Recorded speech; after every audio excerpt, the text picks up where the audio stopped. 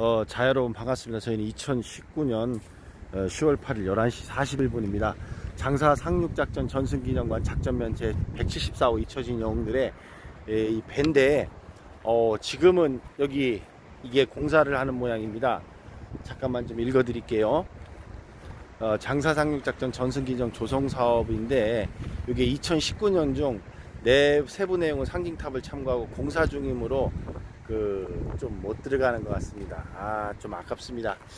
아 이쪽에 좀 마침 해서 들어가서 좀 봤으면 참 좋았다 싶을 정도였는데 아 조금 안타까워서 그 부분은 저희가 좀 생략을 해드리고 저희가 오늘 이쪽에 온 것은 동해안 관광 중심 Blue City 영덕이라는 영덕군청에서 관광 해설사분께서 주셨는데 관광 안내 지도보다는 중요 권역별로 이렇게 해서 에, 보시는 것처럼 나온 내용들이 자세하게 잘 나왔습니다. 그래서 오히려 영덕에 관광을 오시면 지금 보시면 이제 강구면에 이렇게 된 것처럼 현재 이제 그 내용인데 이게 아주 잘 나왔습니다. 영덕의 관광지도보다는 주요 어, 부분을 각 섹터별로 구분을 해서 잘 나왔기 때문에 오히려 더 볼 수 있지 않을까 이렇게 좀 생각이 듭니다. 그래서 저희 는 오늘 어쨌든 이쪽 기념비하고 가장 중요한 이것을 들려보려고 했는데 마침 장살이란 또 영화가 개봉을 하기 때문에 이 시점에 맞춰서 이게 더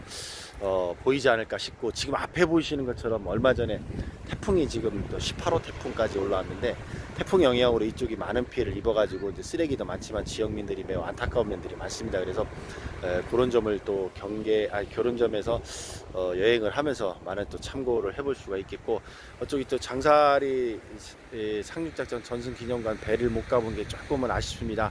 다음에 된다면 어, 한번 더 볼 수 있는 기회를 가져보고 오늘은 공사 중이라 조금 이 부분은 생략을 하고요.